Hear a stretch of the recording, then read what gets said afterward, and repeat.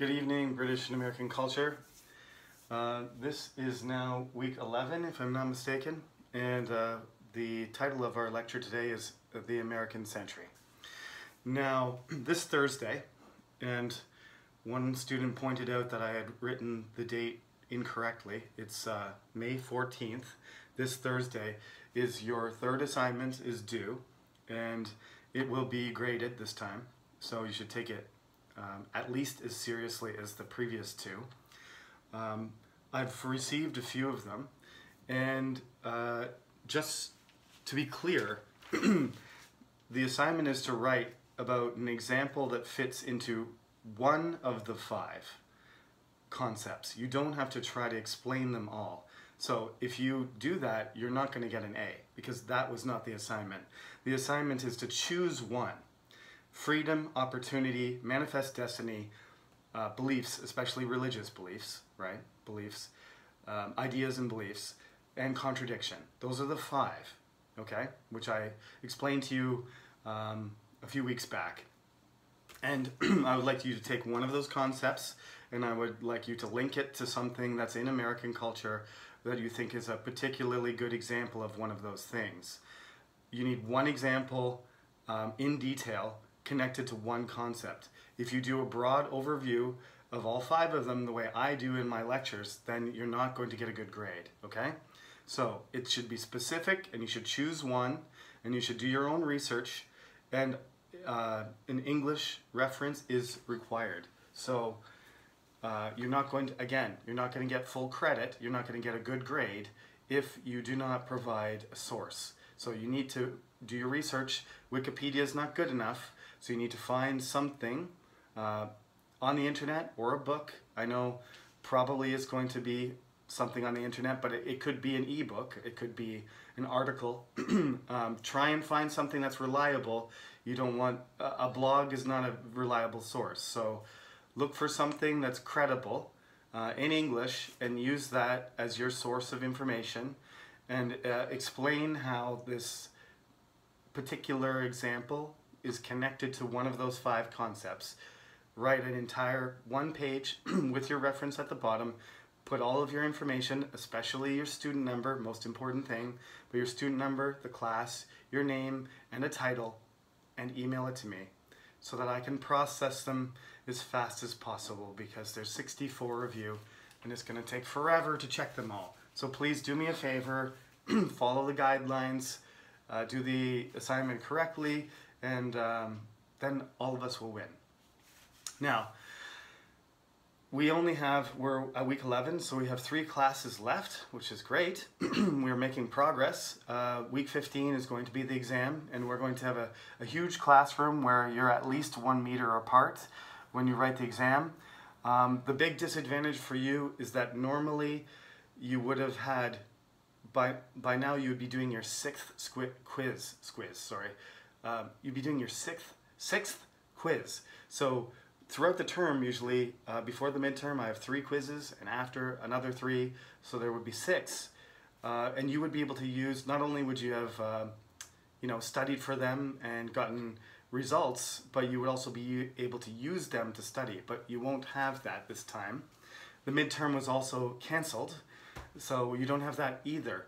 so that's a disadvantage going into the exam. However, you do have these video lectures which you can literally like you would never be able to listen to my lectures again because they're not recorded uh, normally. So you can literally go back through the entire class and watch every video lecture. You're probably not going to do that but you could um, and if you were not clear about something you could listen to it again and there's subtitles and everything. So uh, we do have a great resource being online. So all of there's an archive in the YouTube channel for you to study with.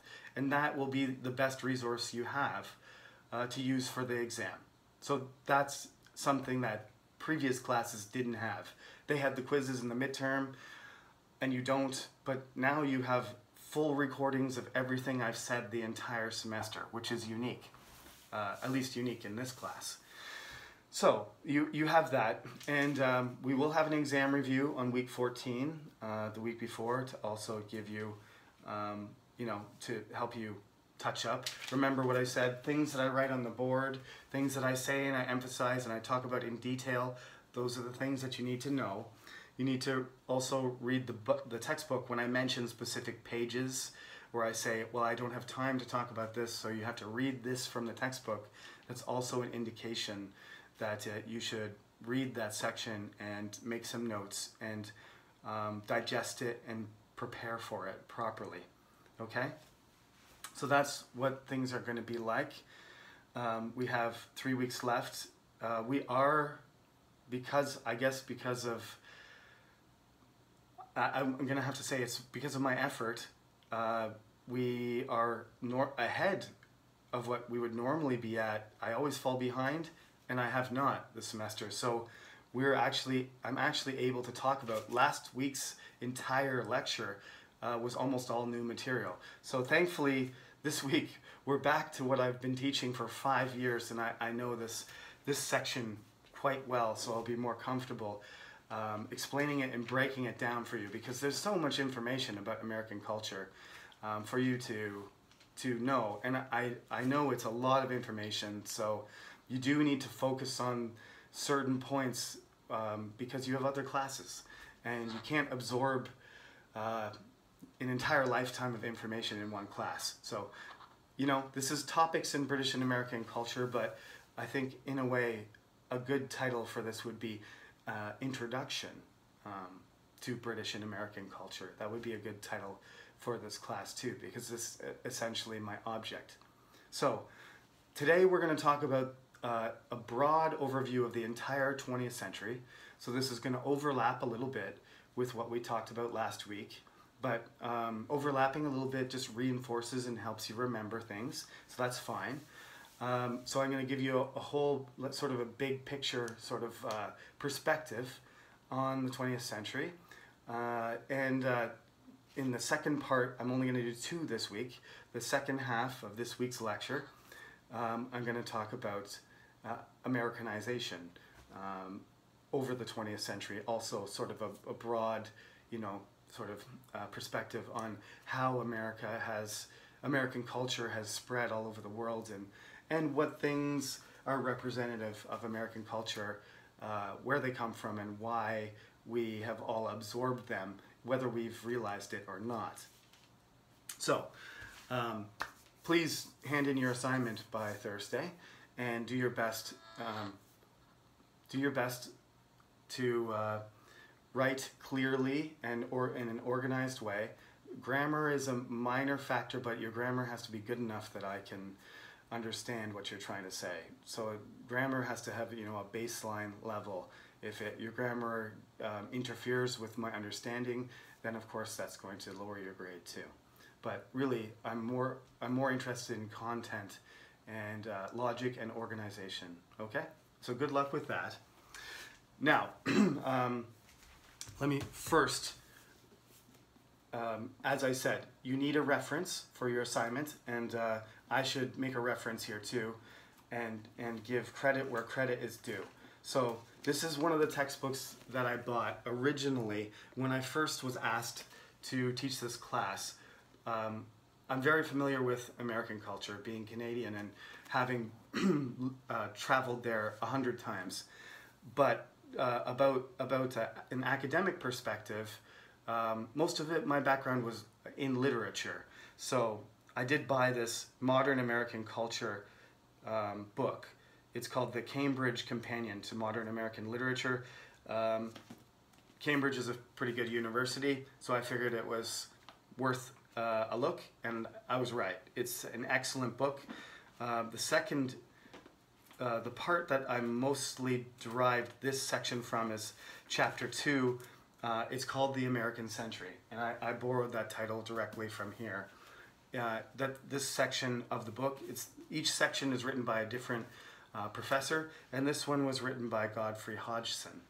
And um, so this organization of the American century that you see up here is a very, very uh, basic summary of what he put into this thick textbook, which um, if you would like to read it, uh, I would even let you borrow it, but no student has ever asked me to see it. So um, I'm, that's where I'm getting my information from here um, in, in, the, in, the, structural sense. Now, um, I've already done some summarizing in my own textbook, uh, which is, uh, I did, um, he, he is part of the bibliography of my book. And uh, in chapter 7, which we sort of put on hold because really I only talked about the first couple pages. But now we're talking about, today we're talking about page 186, pretty much to 198. Um, next week we'll be talking about pop culture and especially Hollywood. Um, and that's, that's 199 forward. But this uh, larger section of, of chapter 7 from 186 to 198 is the part you need to read um, which explains what I'm talking about today. Okay? So, that's the textbook stuff. So let's get into it. so, basically, um, Mr. Hodgson, he divides the entire American century, um, which the it was it was coined. Apparently, it was coined by um, Time magazine. Coined uh, the 20th century, the American century. Uh, not until you know, the end of World War II. Uh, it was around 1945. The magazine ran, ran an article that said, it's the American century, right?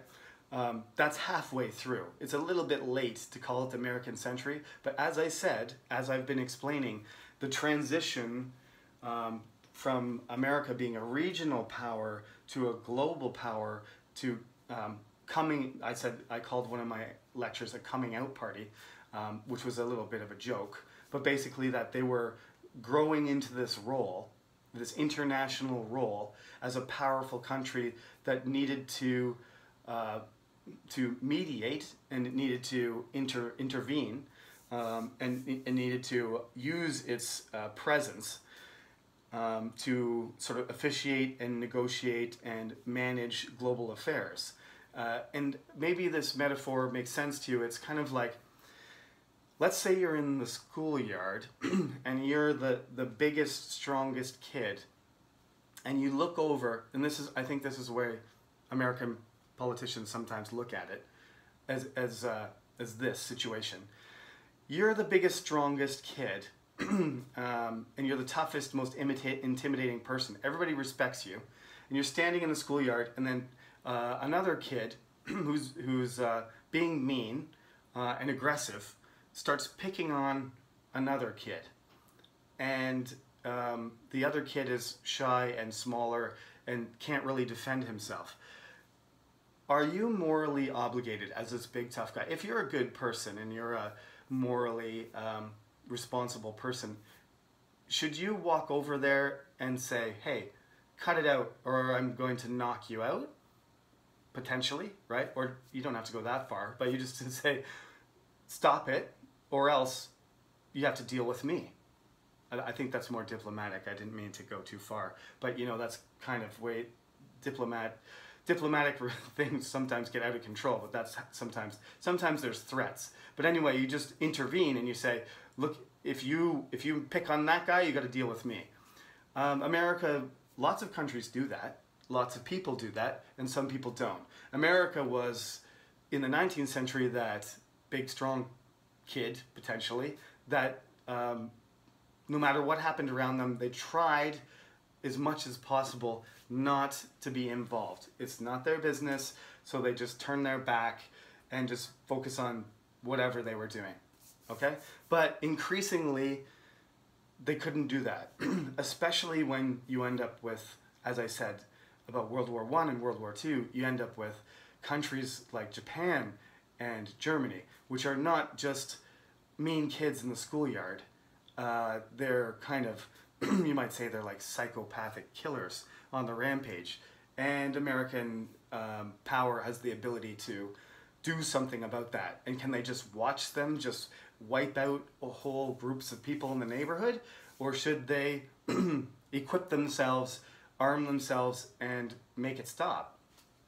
Well, the, the moral the, the, the moral obligation wasn't really enough to get them to do that but when it became too close and, and it affected them too much personally they did jump in, and this changed everything. So let's just talk about, we've already dealt with that scenario. So this is what America's like now, right? so in World War One, um, Hodgson describes this whole situation as basically an evolution, like I said, but there's stages to it.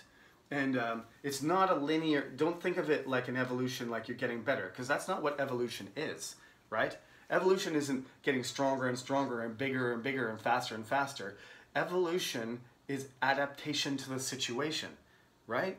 So if bigger and stronger, uh, let's say you're evolving, you're an organism, and you evolve and you're bigger and stronger, but there's less food uh, and there's no shade, and being small and needing less food and, uh, hiding better is an advantage, then you die, right? That's what evolution is. Evolution is adapting to the environment.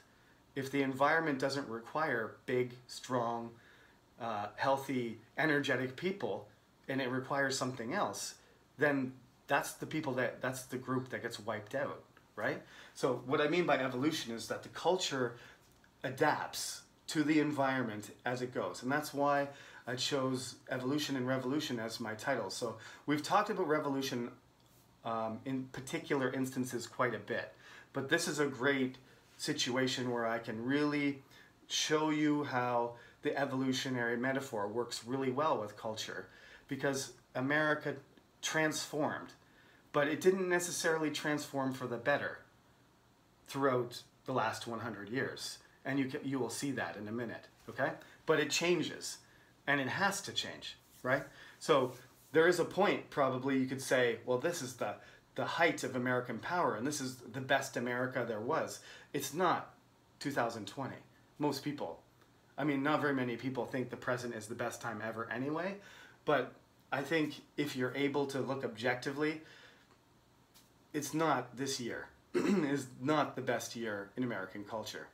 Um, you can choose a lot of different dates, but it's not this year. So uh, evolution means just changing um, around the circumstances and around uh, the environment. So let's talk about that. So there's three periods, Hodgson says. There's three periods. There's the early 20th century, then there's a sort of crisis, a break, um, in, in, a period of instability, and then there's, you know, a, a, a second period, and then a crisis, and then a third period. This is how he describes the whole century the American century and how American culture um, changes. and I think it's the best way I've ever read to explain to you the whole 20th century in one lecture. So that's what I'm going to do. It, it may not be perfect, but this is my, um, this is what I've relied on. So you, you have to give me this one. Um, so in the early, what happened in the 1890s, there was a very serious depression. Um, before the Great Depression in the 1930s, starting in 1929, um, everybody looked at the 1890s in the United States as the worst period in the the economic um, history of the United States. It was a very severe depression, similar kinds of levels of unemployment, starvation, um, immigration, people moving around, not looking for work but not having anything, and and just um, the basically the economy um, collapsing.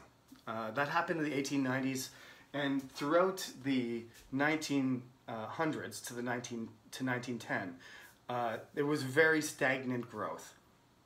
The economy really wasn't doing very well. but like I said, when World War One, when World War One began in 1914, America was not involved until 1917 directly.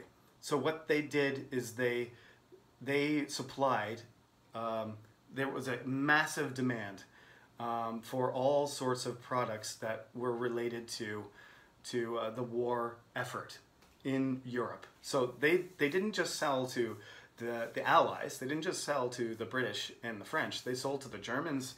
Uh, they sold to the Russians. They sold to everybody because at that point they were still sort of neutral. so what their attitude was is, if you want us to make you uh, bullets or rifles or leather boots or helmets or send you food, um, you pay us, we'll, we'll send it. it and so that um, war production demand from the Great War, from the World War going on in Europe, um, you know, kick-started the American economy and the American economy began to grow rapidly. Um, and this was, you know, politically one of the reasons why they didn't go in earlier because they were, I mean, it's, it's, it's called profiteering. They were making tons of money and they didn't have to risk their own money, their own um, security, and their own, you know, American citizens' lives. So yeah, they took advantage of it. Um, but at a certain point, German submarines sank uh, American shipping, started to interfere with it because they were supplying the French and the British too much, and the, the Germans thought that was unfair. Uh, so they started to sink uh, their ships, and American citizens died, and so America declared war and jumped in. And then, you know, the they won the war. The Allies won the war, and Germany was defeated. Uh, as I mentioned, there was a, a, a, pandemic even worse than what we're dealing with now called the Spanish flu, which killed about 600,000 Americans, which was more, many more, than the, the number of people that died fighting in Europe in, in the actual war. Uh, so there was sort of a, an economic boom and then there was a contraction because of this pandemic. But in the 20s, in the 1920s, everything picked up again um, despite the fact that uh, a lot of countries were severely damaged, especially Germany, Russia, and France, uh, had been severely injured, damaged by the war, and then the, the Germans and the Austrians were required to pay back money and were their economies and their militaries and their you know politics were all sort of regulated and restricted uh, because the the they never allowed um, the the defeated countries in in Europe to recover. Uh, that was a drain on the global economy too, and um, there was in America because they didn't have suffer much damage from the war, and they the economy was in great shape because of the demand, um, and because everybody thought um, everybody started to believe that uh, America was capable of all these great things. There was cars, and there was people were developing new things, radio and air, all these new technologies and air, uh, all these new technologies, particularly like radios, uh, radio, airplanes, and cars, among other things. There are many other things too that that um, developed during the war period and became products and commodities for regular people um, because of all this demand and all this um, energy and all this production, people started to think that stock markets went like this.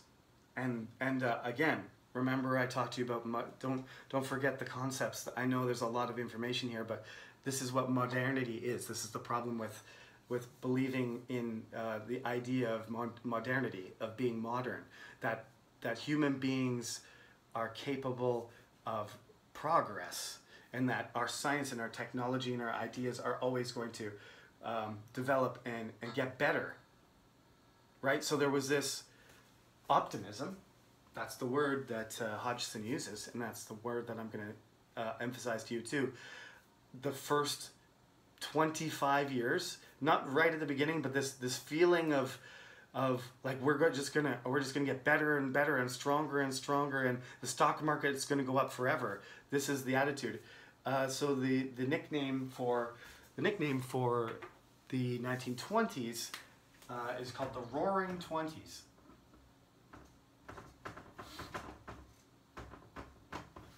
Uh, because roaring means a loud noise, and it, if you see, you know, videos, of, they're all black and white and stuff, but you'll see people smoking and dancing and driving around in cars and smiling and laughing and, you know, uh, you know, movie theater movies were starting to develop. All kinds of new things were coming out, and it seemed like a great time to be alive. Like America was just gonna take off yeah, to the moon, and it did for a while.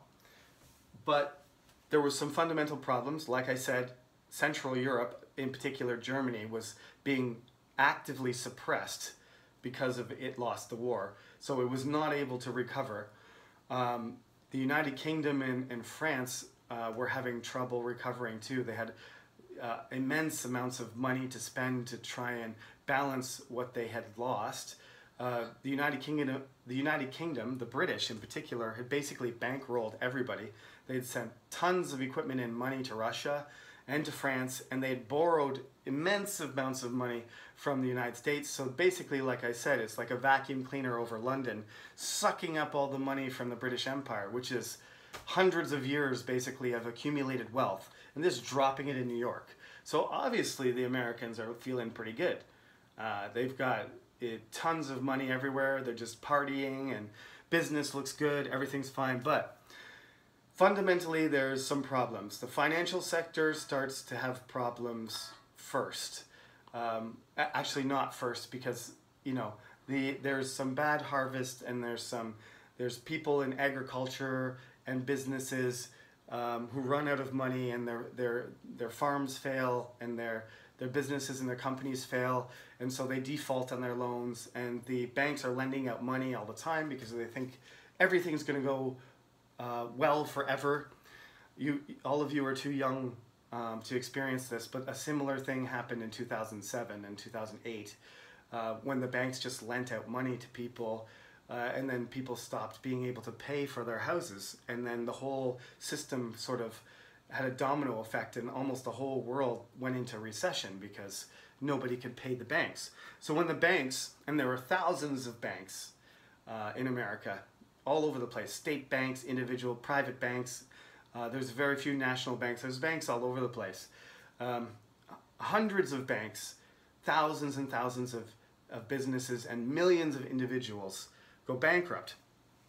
And they do it very quickly. It starts slowly, and then suddenly it just starts happening eh, uh, faster and faster. And the collapse um, comes to a head in 1929 and once um, investors realize um, that they, there's no money coming in, that they've invested stocks in companies and, and um, businesses and um, projects that are, that are, have failed, uh, everybody tries to sell their stocks and everybody tries to go to the bank and take their money out at the same time, but there's no money. So you end up with, you know, um, 25% of the population with no job. Um, from 1930, 1929 to 1933, um, about a quarter of the American population loses their jobs. Um, unfortunately, in the coronavirus situation, I think the American uh, unemployment rate is something around 12 or 13 percent right now because about 20 million people have lost their jobs. But um, if this was the Great Depression, uh, another 25 or 30 million people would lose their jobs. Um, so there wasn't, there really wasn't a solution to this. um, everybody, like I said, just like in the 1890s, people tried to move to different cities. They tried to, they, they went to soup kitchens. They sent letters to the government. They begged. Uh, they tried to make things that, you know, they, they tried to spend as little as possible. But, but there was, there were uh, poor families and and um, people hard on their luck everywhere. Uh, the grapes, the grapes of wrath is a, uh, by John Steinbeck is a, a, book about this story. Um, some people are traveling around the Midwest. There's these great, there's dust storms and everything, and uh, the farms won't produce and everything. Everything that could go wrong goes wrong. And so there's a lot of suffering. And uh, it, it has an impression um, my grandfather was Canadian, of course, but I, I remember, you know, him telling me what it was like. Uh, his his family lost everything uh, earlier than the Depression, but basically they traveled around trying to. Um, my great grandfather tried to get work as a as a farm assistant, working on a farm for somebody else who owned the farm, and um, one thing I always noticed about my grandfather is that he would never throw anything out. Um, if there was an apple that was um, two weeks old and sitting in the refrigerator, he would eat it. And uh, when he ate his dinner, if he had soup or something, um, he eat, when he was and my wife always jokes about this because I do it too because it's a habit I picked up from my mother.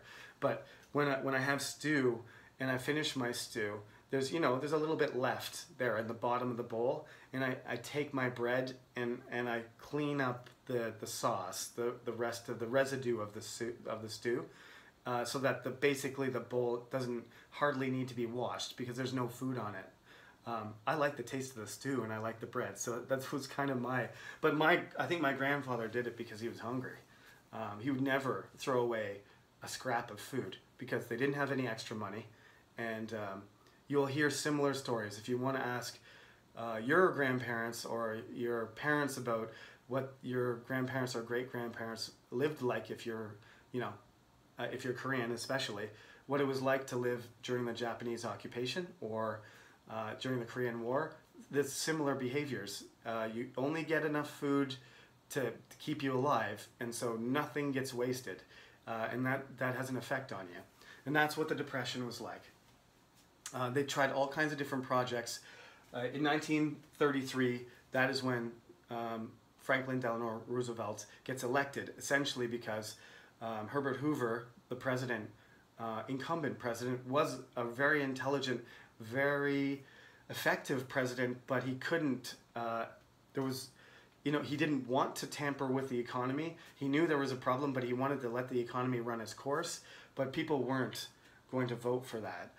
Um, and um, despite his intelligence and his leadership ability and his good qualities, he lost because he was president for four years of the worst economic uh, environment in American history. So it's hard to win an election when that's you know that's the situation under your leadership. So Hoover was gone. FDR comes in uh, in 1933, but he's not really able, despite the fact that he makes this thing called the New Deal and invests in all these programs to try and rejuvenate the economy and public works and, and help people, you know, stabilize the economy and, and uh, support the banks.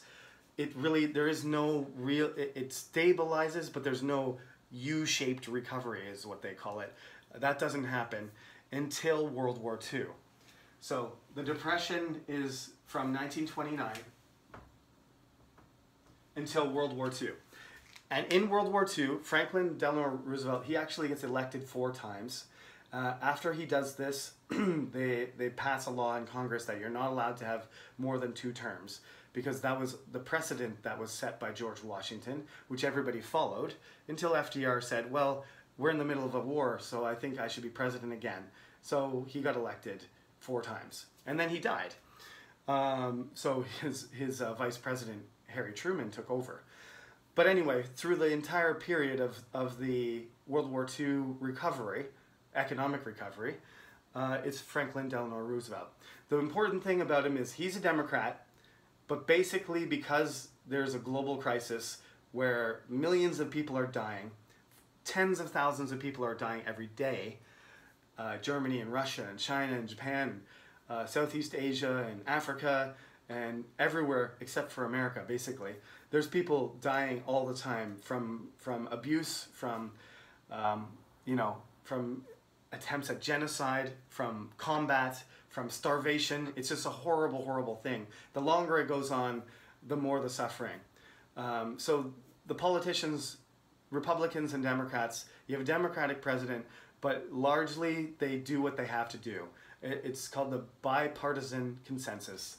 Okay? It's the liberal consensus because it's the Democratic Party leading it, but bipartisan because both parties, two, bi means two, it's a bipartisan consensus, which means the Democrats and the Republicans basically uh, vote together and pass laws quickly, which is not normally how dem democracies work. Democracies are built to fight with themselves. Uh, they often try and block each other, especially in a two-party system.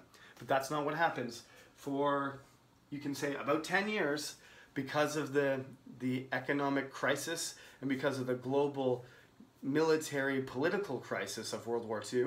You have this extended period that goes right into the 50s where uh, the president is Democrat, Democrat, Democrat, and then Eisenhower, who is a, a general, he becomes a Republican, Republican candidate.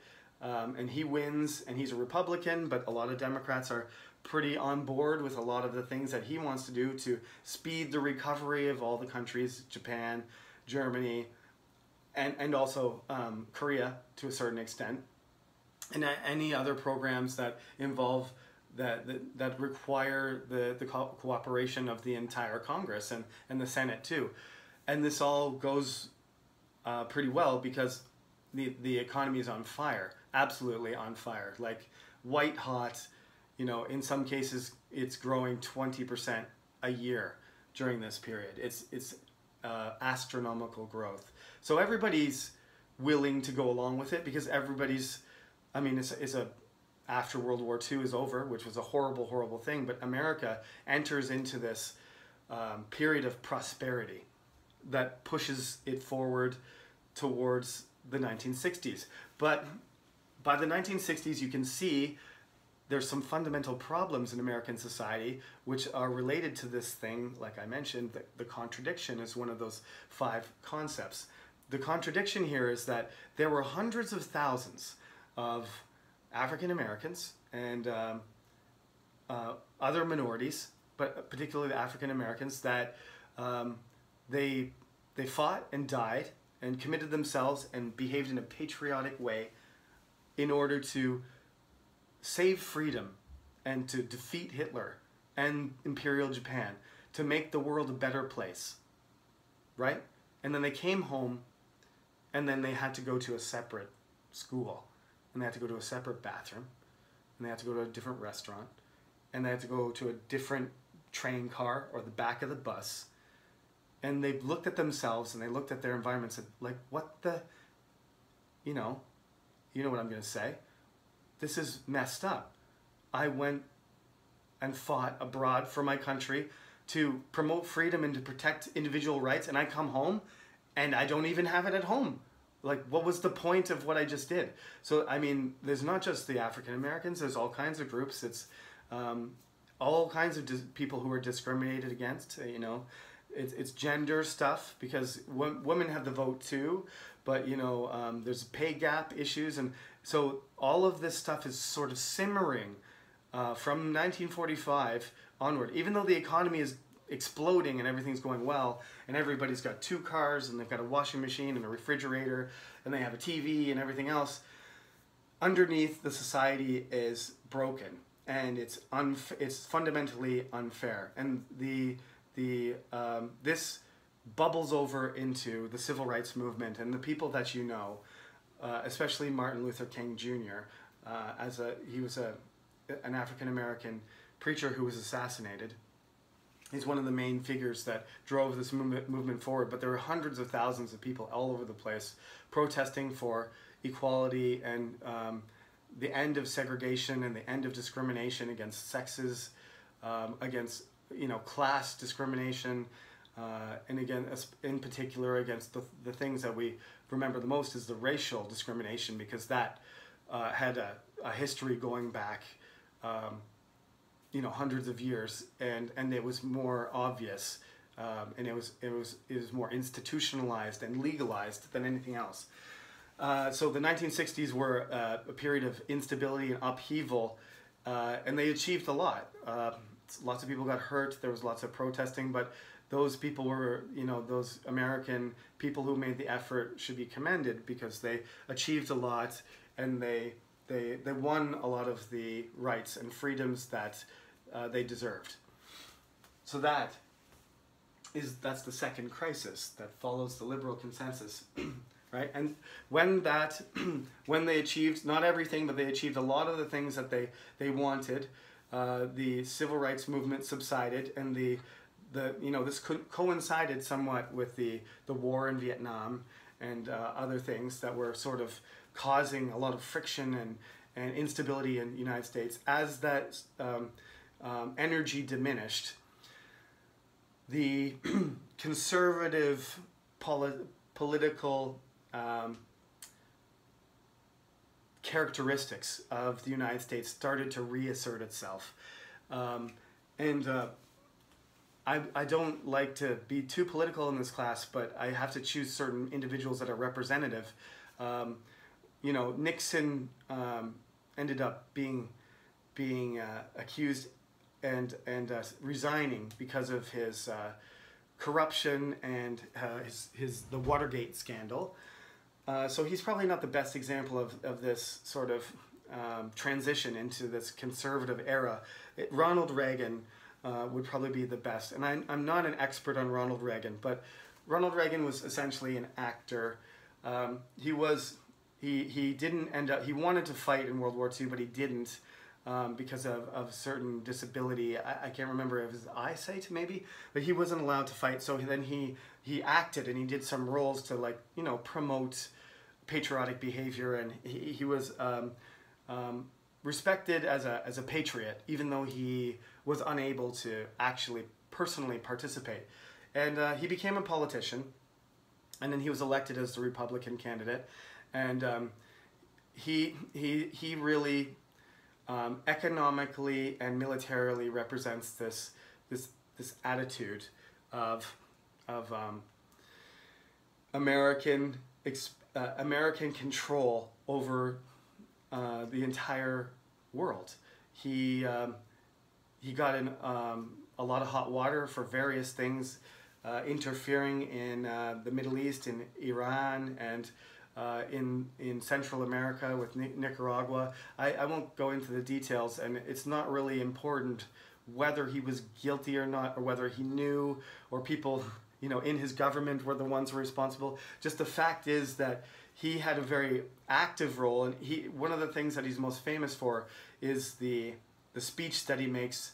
Um, he puts pressure on the the Soviet Union to to uh, change their global policy and, and to denuclearize and to free Germany and all this kind of stuff. And and he makes this speech where I can just remember the, the one line, which is a great line. He says, uh, he, he's making a speech uh, about the Berlin Wall that divided Berlin from east to west. And he, he says, Mr. Gorbachev, tear down this wall.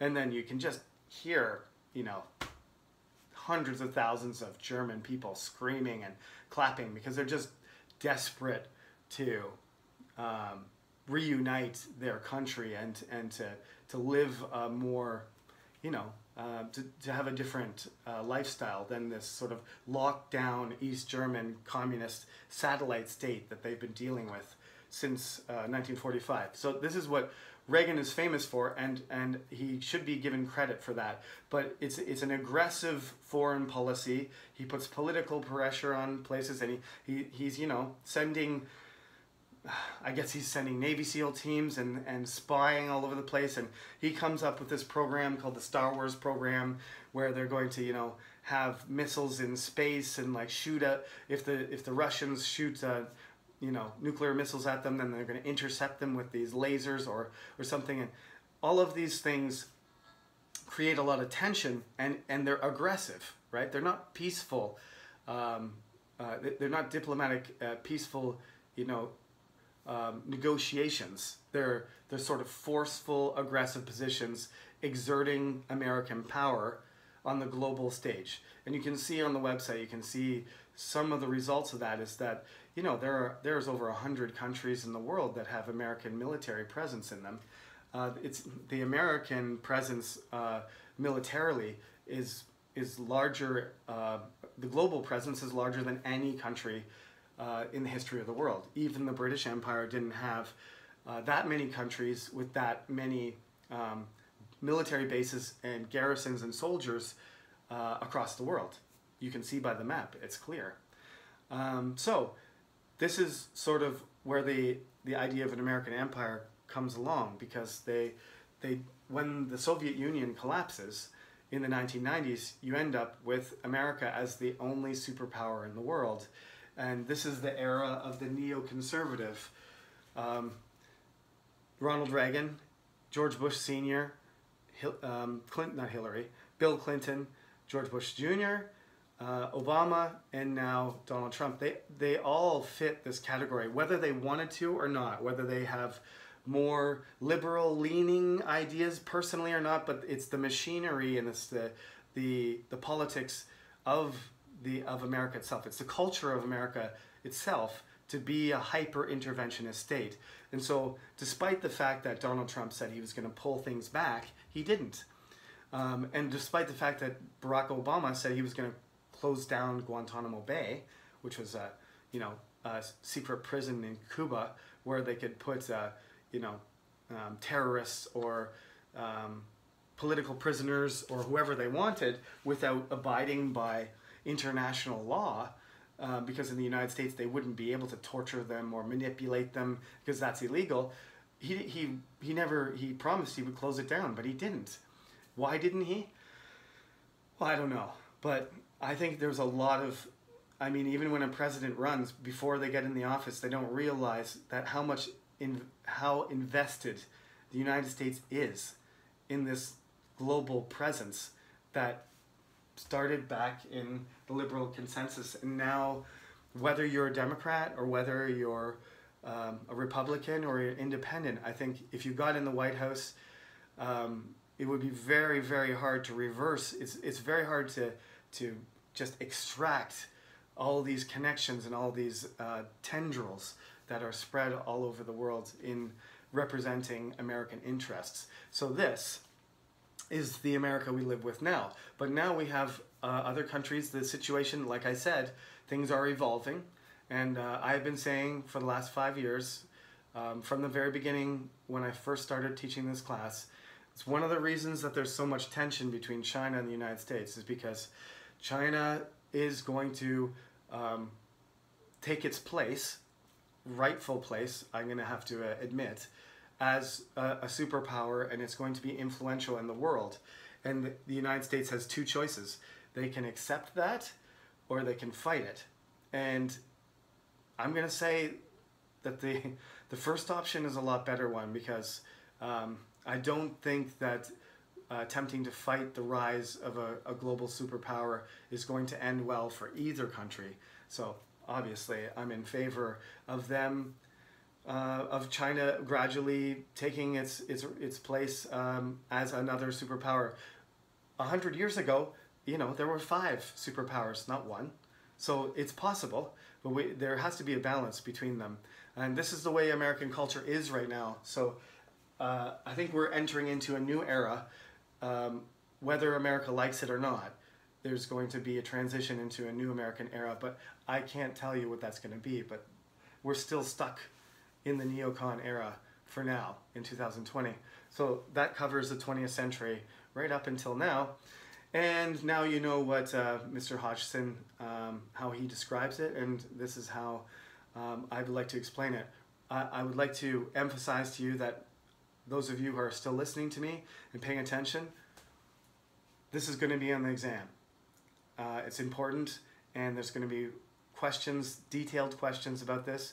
So listen to this listen to this video lecture carefully and read the pages that I told you to in the book carefully because uh, this is going to um, be important on the exam. It's going to be very relevant and there'll be questions that you have to be able to understand and respond to. Okay? And that is it. Um, that's the first one for this week and I'll do a part two of uh, the American Century later this week. Thank you for listening. I know this is a long one, but uh, I think two chunks is better for the rest of the way.